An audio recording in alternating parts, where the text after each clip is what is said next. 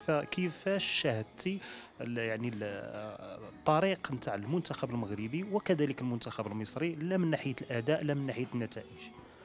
والله طبعا هنتكلم في الكورة دلوقتي. أنا شايف إن المنتخب المغربي آه، كان طريقه شوية أسهل من المنتخب المصري في البطولة. آه، ولكن في الماتش الأخير آه، فاجئنا فاجئنا بصراحة بمستوى جميل جدا وفاجئنا كمان فريق ملاوي بأن هو كان ند قوي جدا والماتش كان صعب على المنتخب المغربي ولكن دايما المنتخب المغربي واللعيبة المغاربة كيظهروا في الوقت الصعب زي ما زي ما حصل بالظبط مع المنتخب المصري اللي أدى أسوأ بطولة أسوأ دور أول في بطولة في حياته في الكان كانت في هذه البطولة.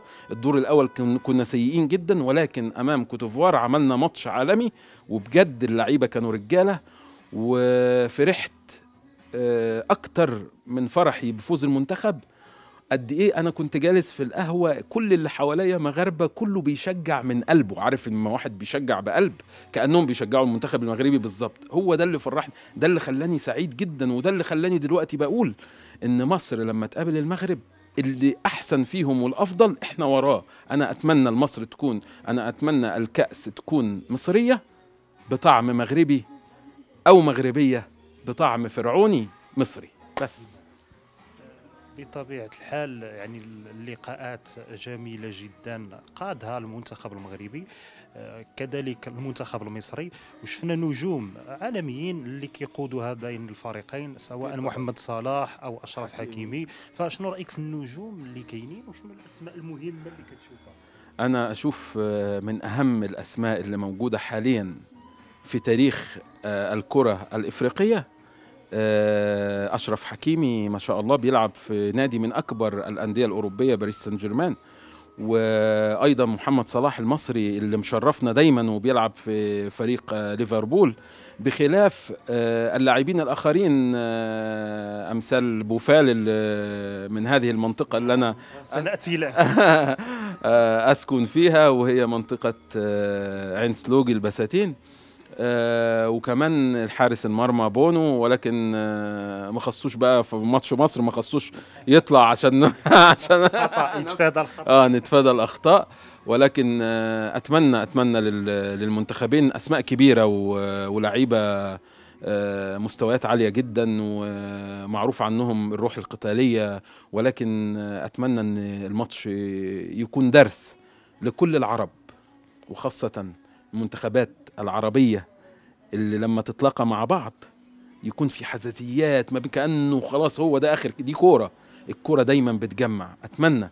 فأوجه رسالة للمنتخب المصري والمنتخب المغربي. أتمنى نعطي درس للعالم في الروح الرياضية وفي الفنيات أيضا واللي يلعب أحسن واللي يكون موفق بتوفيق الله سبحانه وتعالى هو اللي يدوز إن شاء الله.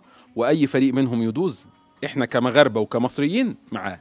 حد ما يشيل الكاس إن شاء الله ونفرح كلنا في شوارع المغرب. من محاسن الصدف ربما أنك تتواجد في منطقة البساتين اللي هي المنطقة نتاع سفيان بوفال نجم المنتخب المغربي. واللي للأشارة انه حيا ساكنة مكناس بالخصوص فبعد نهاية المقابلة الأخيرة للمغرب. ففوقاش عرفتي ربما أن بوفال من الجيران ديالك. والله بص هو هو أنا عرفت إن بوفال من من عين سلوجي بالتحديد من خلال ابني. آه والله. آه كنت بسأله في في لما كنت بعمل فيديو بعد ماتش مصر فبسأله بقول له هتشجع مين مصر والمغرب؟ فصدمني. فاجئني الصراحة. فقال لي أنا هشجع المغرب. فسألته ليه هتشجع المغرب؟ فقال لي أنا كبرت هنا و وبعرف أسامي لعيبة ال- المغرب ما أكتر من مصر. وبعدين أنا اتفرجت على الكورة من خلال أصحابي المغاربة. وشفت المنتخب المغربي قد إيه متألق. فقلت له طب يا عم إيه؟ قلت ازنقه بقى. قلت له إيه؟ طب اديني كده إيه أسماء اللعيبة اللي أنت بتحبها في في المغرب. فقال لي لا ده في حكيمي طبعا وبيلعب في باريس سان جيرمان وجاب جون مش عارف ماله وعمل إيه وبيحكي لي بقى إيه موص... يعني فعلا وصف دقيق يعني عارف اللعيبة. وفي الآخر قال لي إيه وخاصة بقى كمان إنه بوفال من حومتي. فبقول له إيه من حومتك دي؟ قال لي بوفال من حومتي من من هنا من عين سلوجي من مكناس. فقلت له والله قال لي والله فهو اللي عرفني يعني. يعني ما كان ما كنتيش عارف قبل ذلك ما كنتش لا آه. الصراحة. بطبيعه الحال سفيان بوفال من النجوم المغرب اللي ساكنين هنا في المنطقة واللي كيجيو كذلك المنطقة ودائم التواصل وعنده سمعة جد جد طيبة هنا والعائلة ديالو هنا. فهذا الارتباط نتاع اللاعبين بالمدن ديالهم وبال يعني بال بالأسر ديالهم هنا في المغرب كيفاش كتشوف؟ ده يرجع لنقطة مهمة جدا وهي اللي هنرجع لها تاني وهي المغرب. ترجع للتربية. وده اللي عملته بقى الست المغربية والمرأة المغربية والأم المغربية. لما الابن يكون متربي صح عمره ما ينسى أصله. عمره ما ينسى خير آه، منطقته عليه. عمره ما ينسى أصحابه. عمره هو ده اللي دايما إحنا بنقوله وده اللي دايما التاريخ بيحكيه عن المرأة المغربية. فأكيد أن هناك مجموعة من الأمور المتشابهة بين الشعبين المصري والمغربي الشقيق. وكذلك الحديث معك كان شيق كذلك في مجموعة نتاع المعطيات اللي اكتشفناها معك فكنشكروك من خلال قناة الدار على الاستضافة وعلى هذا اللقاء. وكذلك كنتمنوا لك حظ موفق في القناة ديالك. فككلمة أخيرة شنو ممكن تقول للشعب المغربي والشعب المصري وكاع المتابعين قناة الدار وكذلك القناة ديالك؟ أنا أحب أوجه آه، رسالة للشعب المصري والشعب المغربي. فعلا أنا كمصري بعيش في المغرب بعتبر نفسي دلوقتي مصري مغربي. نصي مصري ونص مغربي وأنا قلت قبل كده لو فتحت قلبي هتلاقي نصه مصري ونصه مغربي. ده مش تقليل من بلدي بالعكس هو أنا لولا أن أنا مصري ما كنتش هتعامل هذه المعاملة في المغرب. لأن قد إيه الشعب المغربي بيعشق الشعب المصري؟ وقد إيه الارتباط ما بين الشعب المصري والشعب المغربي؟ وقد إيه الجينات متشابهة جدا؟ الطيبة الكرم الأصول آه، الشهامة الرجولة كل حاجة موجودة عند الشعب المصري والله وأكتر عند الشعب المغربي. وإحنا من زمان ومن قديم الأزل إحنا عندنا مناطق في مصر تسمى باسم المغاربة. وهنا في كاين أسر كاملة و...